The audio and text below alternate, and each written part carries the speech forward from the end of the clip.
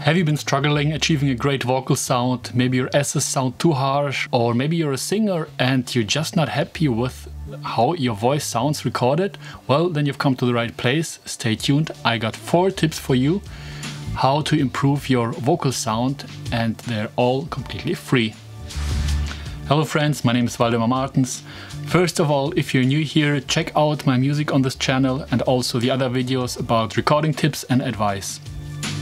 Today's episode is about vocal recording and you may ask yourself, well, vocal recording, what is it about? Just throw a microphone in front of a singer and you're basically done. Well, I think there's much more to it and I guarantee you that by paying attention to these four tips, you will improve your vocal sound vastly. First on the list is microphone technique. Microphone technique is the ability of the singer to change his position and angle with respect to the microphone and affect the sound of his voice in that way. First in that category and most important is the so-called proximity effect. Most microphones are sounding way warmer and fuller if you actually take it very close to your mouth compared to when you have it further away. Just listen to that following sound example. Amazing grace, how sweet the sound. Amazing grace, how sweet the sound. Notice the difference in sound between the two examples. The only thing that has actually changed is the distance of the singer to the microphone and I have adjusted the levels such that you can have a more fair comparison because of course when you're further away you're also much quieter. You can use the proximity effect to your advantage. For instance, if you are recording a very intimate and quiet passage, you can come closer to the microphone and that will make your voice still sound fuller and just more appealing. And then if you're recording a loud passage, then you can retreat from the microphone and have a more balanced sound in that way. This also brings us to the next point with regards to microphone technique, namely controlling your dynamics. Because typically a song is not just one volume level, but the chorus is typically much louder or there are parts in the song where the singer goes higher in pitch and then also the volume increases and the ability to control that by changing your distance to the microphone or alternatively changing your angle to the microphone that can help controlling your dynamics and make the recorded level more even. If you would like to see an example of a singer with excellent microphone technique, I would recommend watching Jay Buchanan, the singer of the band The Rival Sons.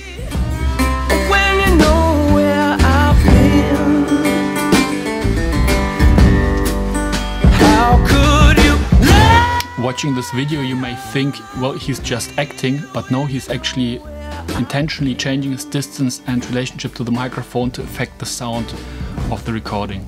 I will put a link to that video in the description down below. The last tip with regards to microphone technique is concerning sibilance. Sibilance is these harsh S sounds or sh sounds that for some singers and also for some microphones are extremely annoying and especially if you later in post-production apply EQ or compression to the vocal track, they become even more exaggerated and even more annoying. Well, there are tools to deal with that after the recording process, but it's better to get rid of that at the source.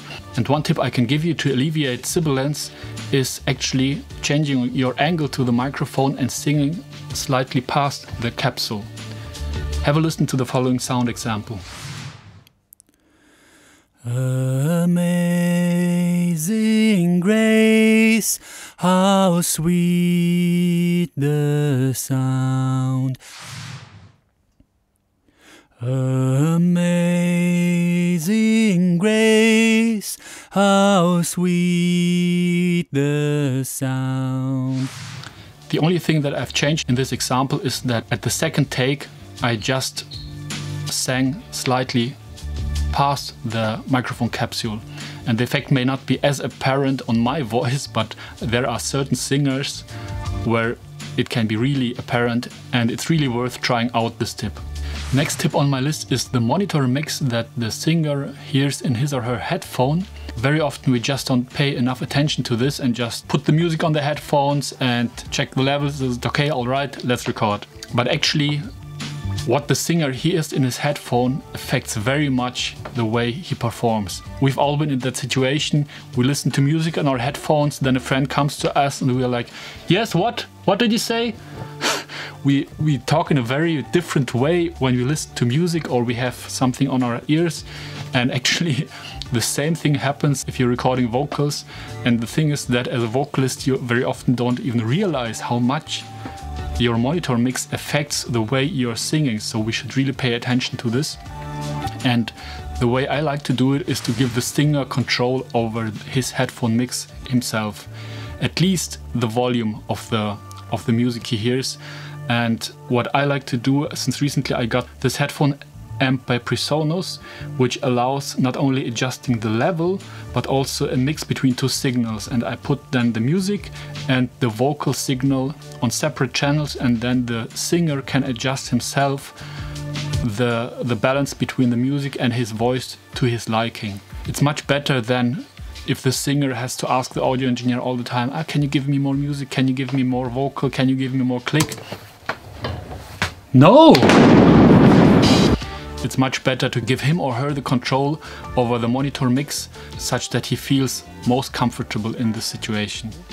Another tip regarding the monitor mix, and this depends on personal preference, some singers prefer to sing with just one headphone on his ear and the other one free such that they can hear their natural voice coming through one ear and the music through the other ear.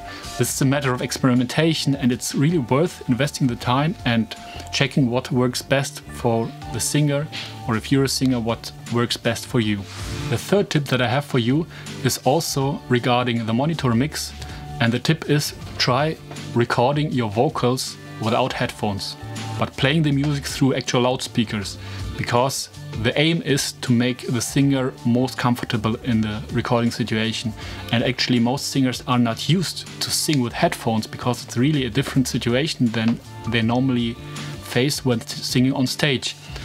So, the downside of this, of course, is that you will have the bleed of the music in your vocal signal. But in the end, if the performance is much better than when the singer sings with headphones, it's really worth the trade-off. You can minimize the amount of bleed that's coming through your microphone signal by just facing away the microphone from the loudspeakers. And since the microphone, if it's in cardioid mode, rejects everything that comes from behind, you'll be surprised how little bleed there's actually on the microphone. So just try it out, it's worth it. The fourth and final tip that I have for you is microphone choice. And it's not the last because I think it's the least important. Actually, I should have put it at the first tip but I also see that most people will record with a microphone and that they have and they don't have much choice. But if you have the choice, if you have more than one microphone that you can use, take the time and do the A-B comparison for a singer. I've been guilty of that, just throwing a microphone in front of a singer and thinking it will be alright, it worked for the other singers, it will also work for him or her. And I was completely wrong at times and had really a bad vocal recording. Sometimes a different microphone choice can really save a vocal recording or make a vocal shine in a completely different way. The best way to compare microphones is to really put the capsules next to each other and record both microphones simultaneously while the singer sings just in between them.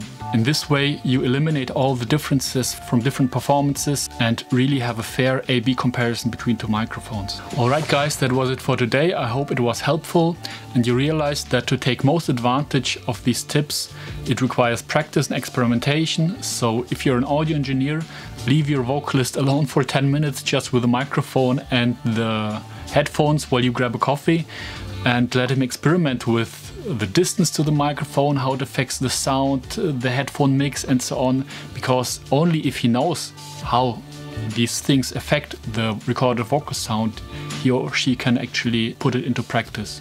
If you liked this video, give it a thumbs up. If you're interested in further content like this, subscribe to the channel. Also hit that bell notification button. Leave me a comment if you think I've forgotten something or, or if you like to have a clarification on something. I'm happy to answer and otherwise, see you in the next video. 拜拜。